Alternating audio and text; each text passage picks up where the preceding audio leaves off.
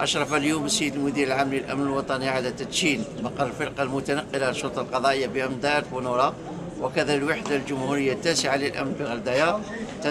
تندرج هذه التدشينات في إطار الموقع العقلاني للقوات العملياتية